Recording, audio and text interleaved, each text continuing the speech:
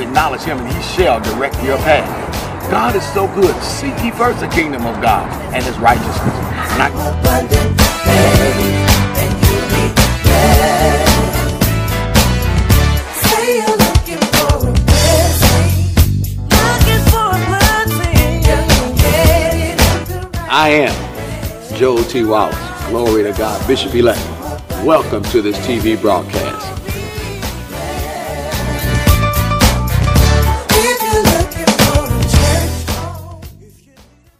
Praise the Lord. God bless you. How are you today? You know this is who is it? Amen. This is your friend. Yep, this is me. Yeah, Pastor Bishop elect Joel Wallace. We just thank God for you. Amen. Tuning in today. As you see, we're here at the worship center. We decided, glory to God, to just bring this broadcast, amen, right here from the worship center. We want to thank God for all of you out there in television land. Thank God for all our partners, all of you that have been uh, watching, amen, and enjoying uh, the programs. I tell you what a wonderful time we have here in the worship center. It's a wonderful thing. You know, God is just so good, especially where we came from. All of you have been following us for a few years, amen. We've been pastoring, you know, our first church uh, over at Pequot. We just thank God for it and God has expanded us, and it's a wonderful thing to see what God is doing. You know, we want you to have an open invitation to always come and be a part of this ministry, uh, whether by uh, being here live or uh, online, amen, watching the videos. Uh, we just say, amen, it's always a place for you to come. Uh, AFC is a ministry that we thank God for because one of the things that we show here is love. It's so important to love one another. Um, today, in the time we live, and you see how people are acting, you see how the politicians are fighting each other, and how they are um, reacting to each other and digging up dirt on one another, and, and now even the family members are being, being involved in uh, politics by who's the prettiest and all that. You know, we just thank God in the house of God. We don't go through that. We just thank God. Being in Christ, He loves everybody. Can I tell you something? He died for you that on uh, the other side of the country, as well as you here in the United States of America. We thank God that we are part of this great movement, this Christianity, this walk that we walk, this lifestyle that we have, and, and we thank God for it. And we want you to know, I mean, you should uh, be a part of that. If, if you're not a Christian, if you're not a believer in Jesus Christ and Him being crucified and being risen on the third day, you should. He died for you. Amen. And being a part of this Christian walk is one of the most blessed things I ever could have been involved in. Uh, being raised in the church uh, as a youngster, uh, I thank God that I know my roots and uh, I'm here serving God. I've been serving Him for a while. You know my story. I don't have to go back into it. Amen. I'm being 18, I got a chance to go out and see what the world was about. And uh, God pulled at me, told me it was time to come home after uh, so many years. And, and I thank God for that. That in the house of God, there's refuge, there's peace, there's joy, there's happiness, all in the Holy Spirit. And I want to invite you to be a part of this ministry. I invite you to take part. Go to Facebook, go uh, to YouTube, watch the videos, uh, watch the things that God have done. That will encourage you. We have great testimonies um, through the older as well as the young here at this ministry. We're going to take you to a service uh, this morning in dealing with believing God, trusting God, and speaking His word. And I want you to go. I want you to enjoy it. Amen. And uh, we'll come back uh, in the end of this, and uh, we will talk to you again. All right. Listen, go into the program, and we'll talk to you a little later. Okay. Bye bye. Amen. Let's go to the Word of God. Uh, Mark 11. Let's start uh, 19, please. And when the even when even was come, he went out of the city, talking about Jesus. In the morning, as they passed by, they saw the fig tree dried up from the roots.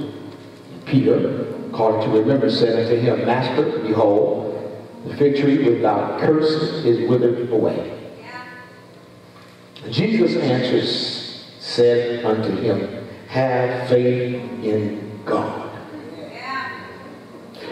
23. For verily I say unto you, that whosoever shall say unto this mountain, Be thou removed, and be thou cast into the sea, shall not doubt in his heart, but shall believe that those things which he saith or she shall come to pass.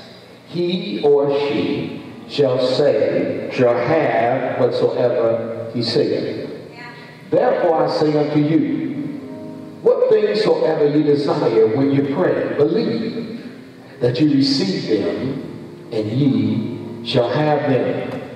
25. And when you stand praying, forgive.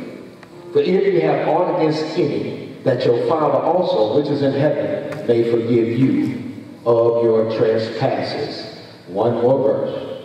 But if you do not forgive, neither will your Father, which is in heaven, forgive your trespasses. Father, help us right now, we pray, Lord God, for the word. We pray that, Lord, the word will go out and help somebody, Lord, have mercy, to be in you, to help them to be what they are supposed to be. Help them to go through the tests, the trials, their tribulations, their challenges. I pray now in Jesus' name. Somebody say, you may be seated. I want to just be brief. I won't be long. I just want to help the saints today in dealing with God and dealing with the Word says. The, the, the story is simple. Jesus went to the fig tree. And when he went to the fig tree, he wanted something to eat because he was hungry. Nothing was there. So he cursed it. And he walked on. They came back from out of the city. And when they came back by, Peter looked at the tree. He said, Jesus, the tree that you cursed is withered away. Jesus told him to have faith in God. Or if you, if you look at that in the Greek, it says to have the faith of God. And we know when God created, in the book of Genesis, it says, God said, and it happened. In having the faith in God or the faith of God, God had faith in his word. Yeah. Now, when he created the heavens and the earth, when he said it, it happened. Now, it, it takes a lot for us as humans to understand what it means to take the word, the raw word of God. Okay, Lord, I got it. Okay. The, the raw word of God and, and to be one that believes in what God is saying and being one with God. Yeah. Hmm. What do you mean by that? Simple. When you're one with God, you're one with what God says. If you have a partner, brother, sister, whomever, amen, and, and you were in turmoil, watch this, and you said, you are going to get a beat down. Me and my friend gonna beat you to a pulp. Well, in order for the friend to get involved in what you said, they had to believe in your word. Anybody catching that? And so when it started, amen, the beatdown came not only from the one said it, but the one they said was going to help them. It's the same way we look at God's word today. We look at his word, and his word is real. The Bible says that he, his word go out and obtain that which it goes out to do. That means uh, that we have to remember the end part of that. The end part that says, and when it comes back, it's not coming back void. It's going to do what it was sent out to do. No matter what the situation is. Listen, I don't know if you have, have you ever been on the telephone and somebody say, pray for me. and, uh, and, you haven't, you weren't there to lay hands, but you spoke the word of God. Come on, help me, Jesus. And then something happened. Uh, the person got better. Amen. Over the telephone. That, just, hear the voice. I've had people in the hospital that was laying in the bed. And I told them, put the phone to their ear so they could hear me pray. Come on. Amen. And, and when we learn how to have the faith of God, that no matter what happens in life, we can speak to it by the name of Jesus Christ and watch some things to happen. Turn to your neighbor and say, it's going to happen, it's going to happen. It is the power of God. What are you talking about, Pastor? I'm talking about the power of the spoken word. See, everybody, everybody uh, does not want to get into uh, the, the power of the spoken word. Everybody don't don't want to lay there, don't want to be there, don't want to set their camp there. But that's what we have to do in order to make it through the world that we're living in.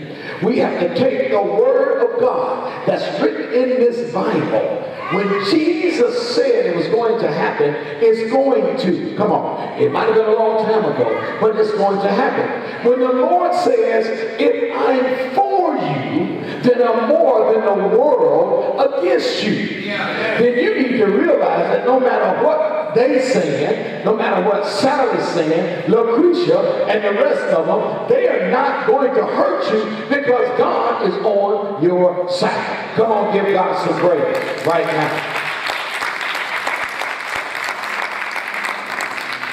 Bible says, have faith in God, have the faith of God. One thing I've learned, let me tell you something, now the challenges in my life. You know, there's nothing that money can buy, amen, to change the result of what somebody sees. What do you mean by that? Well, uh, when, you look at somebody say your toe is hurting, you go and they say your toe is fractured.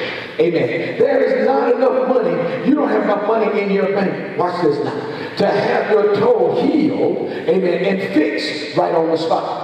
Well, the doctor will put a cast on it. Come on. The doctor will wrap it up and say, wait for the healing. Can I tell you the truth? Only God can heal, not the doctor. Can you just clap your hands if you believe that? So consequently, when we go through our challenges in life, there is times that we need to speak the word of God and believe what God's word says about us. Amen. No matter what the situation is, by your stripes I am healed. Somebody say, by your stripes I am healed. In Jesus' name. Now put your hand together. Just stop right there. Just stay right there. Stay right there. We have to believe with our mouth what we confess out of our heart.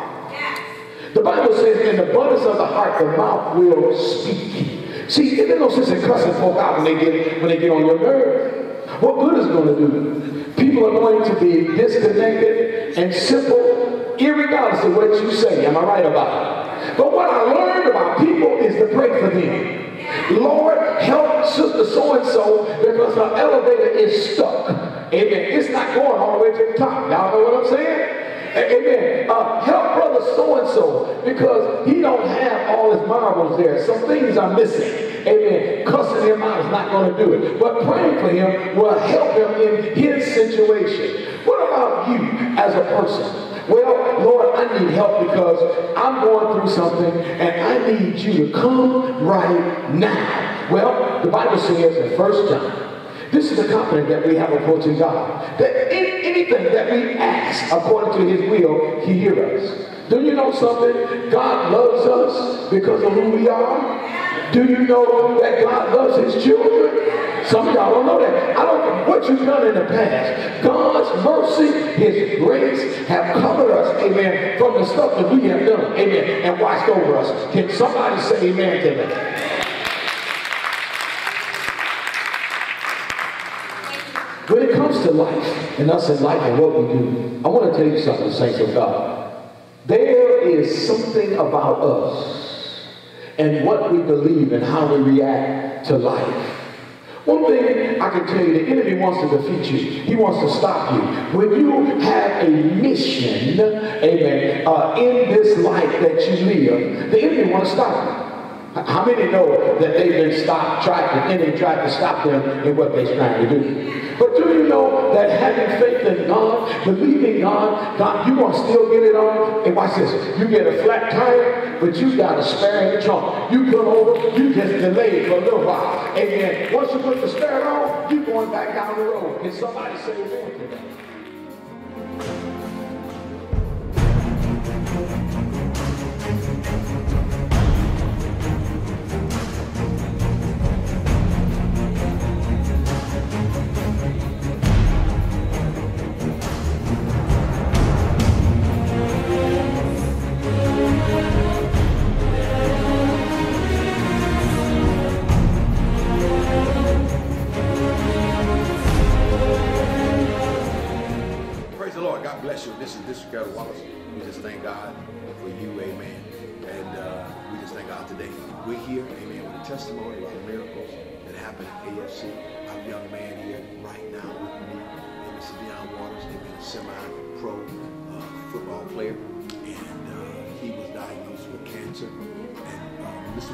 Tell us exactly what happened? uh, working out to play football, broke my foot, went to the doctor, said you have cancer. First thing I did, I called my pastor and explained to him the situation.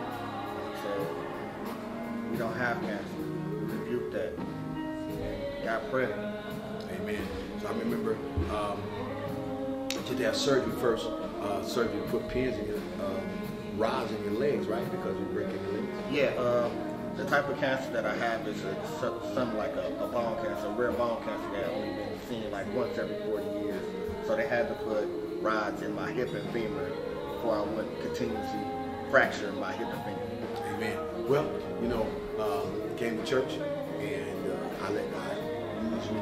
And so um, came out of surgery for putting the rods in. Uh, I asked God what, what's next. And the Lord told me one Sunday morning to, have him just to walk around the sanctuary. Remember that?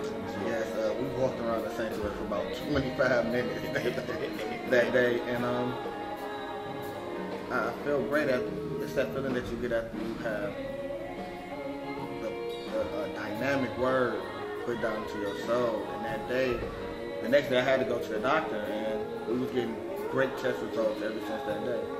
Amen, amen. Because uh, after they, after uh, God was giving instructions for him to walk around the sanctuary, the people that was with him, um, what we did was we, uh, after God said, "Okay, now's enough," we prayed and we believed together. And I'm gonna tell you how this got you.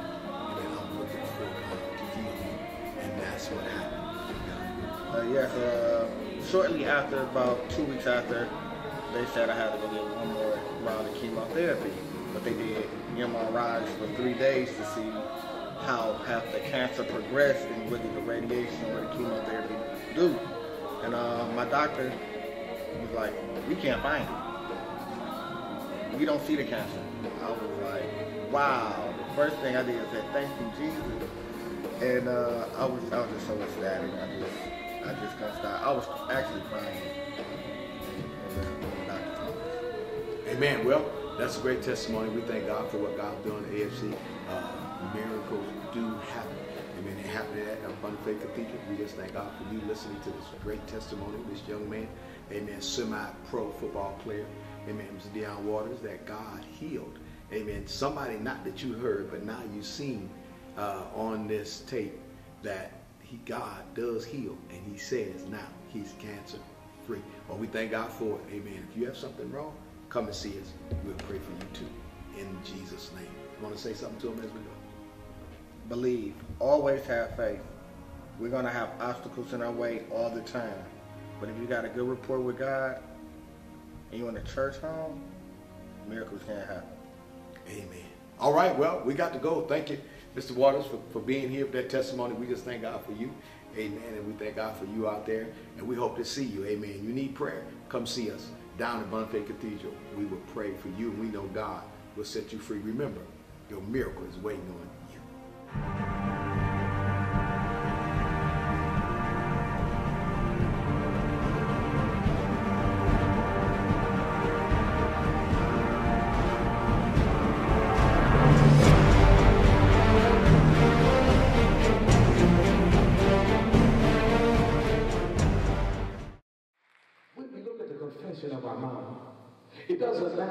The situation is, if we can believe God, if we can trust God, look at your Bible. I'm going to show you something.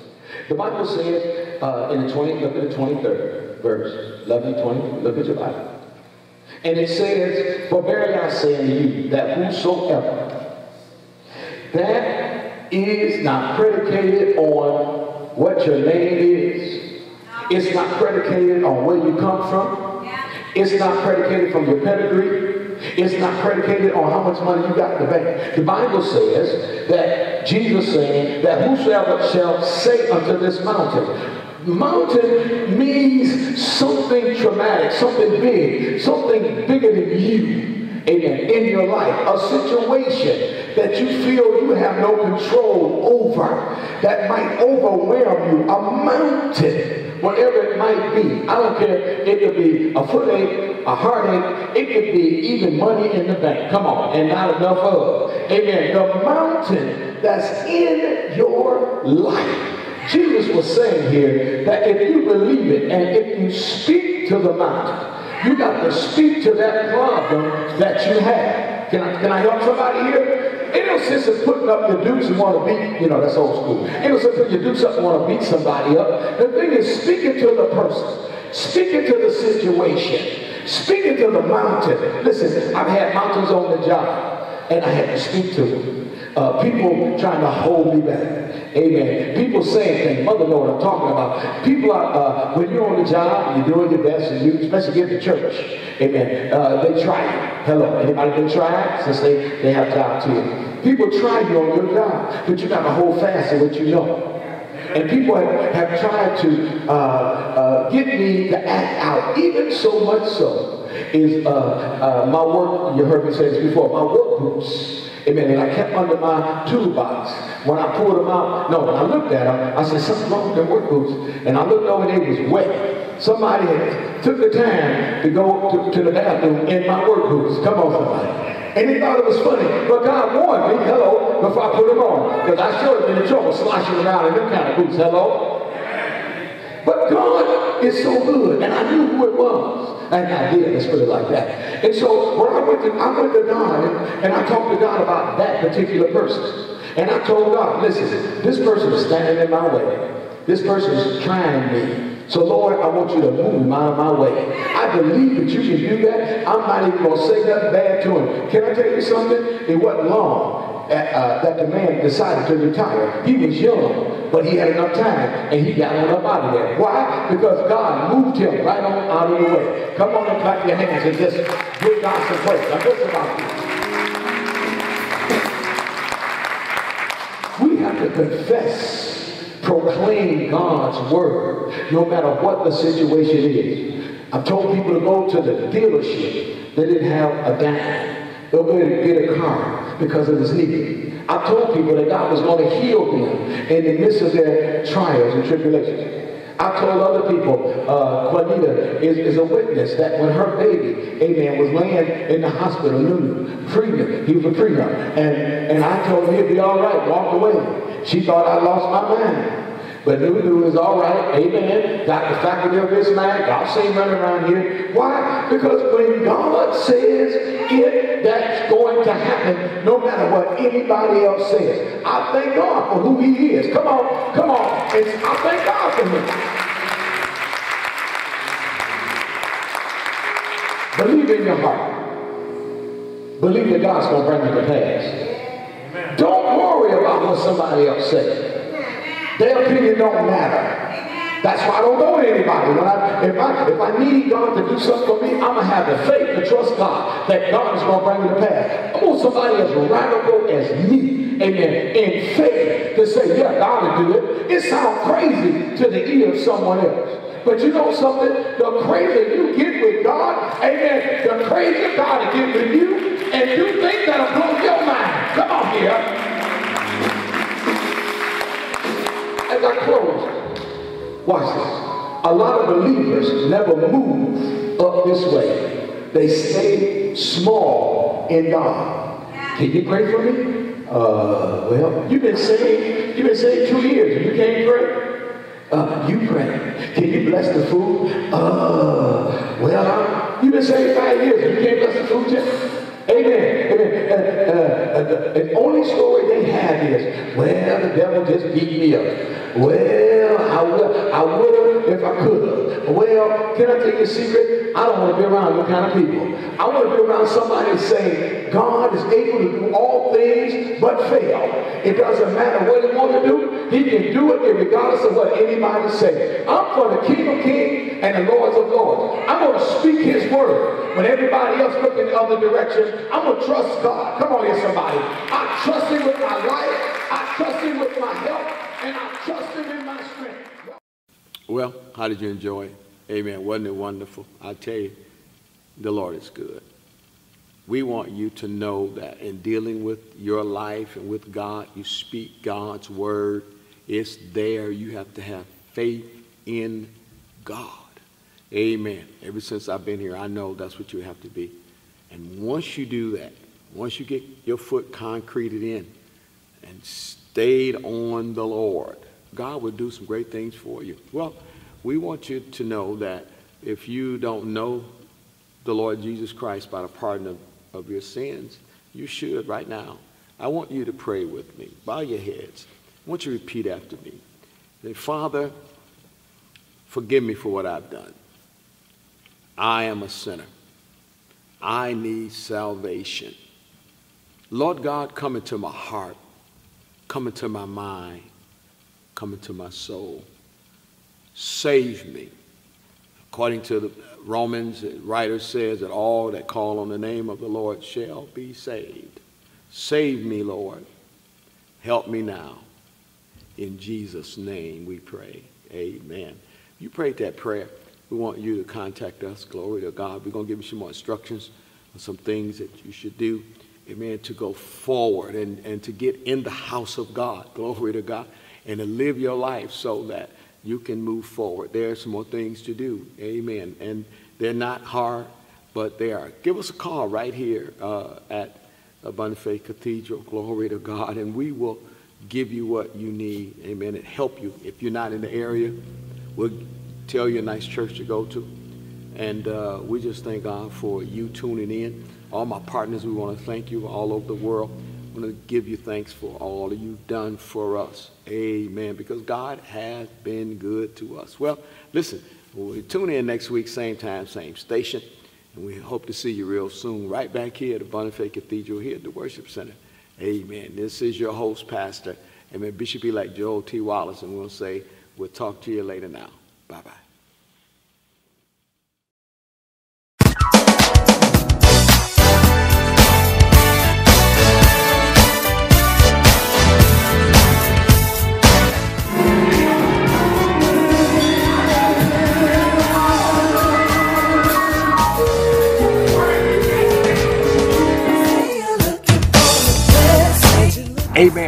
Thy ways acknowledge him, and he shall direct your path. God is so good. Seek ye first the kingdom of God and his righteousness. And I, abundant faith, and you'll be blessed. Say you're looking for a blessing, looking for a blessing. You can get it in the right I am Joel T. Wallace. Glory to God. Bishop elect. Welcome to this TV broadcast.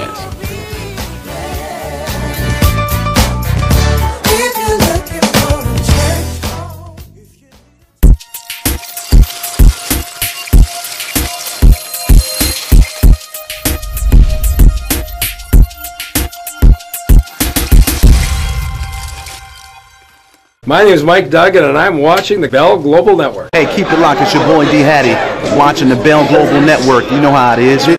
Hi, I'm Charlie Langton, and you're watching the Bell Global Network. Hi, this is Martha Reeves, and you're watching Bell Global Network.